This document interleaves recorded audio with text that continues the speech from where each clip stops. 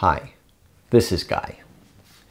If you have an infestation of cockroaches, or if you have a lot of book mites, or maybe even termites that have gotten into your books, or anything like that, then you can easily kill these things so that you do not need to throw the books away.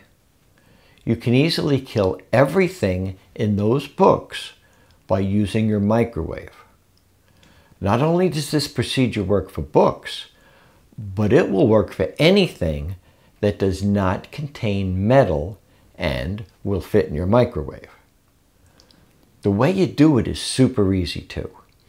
Just place the item in a plastic bag and put it in the microwave along with half a cup of water. You want the cup of water to be outside of the plastic bag. The reason for that half a cup of water is because microwaves heat liquids.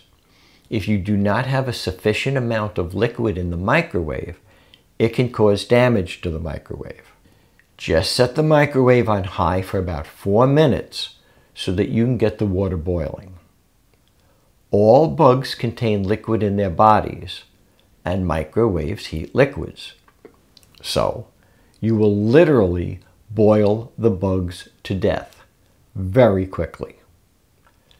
The reason you must put everything in a plastic bag is because you don't want the steam from the water to do any damage to the books or whatever it is you are microwaving.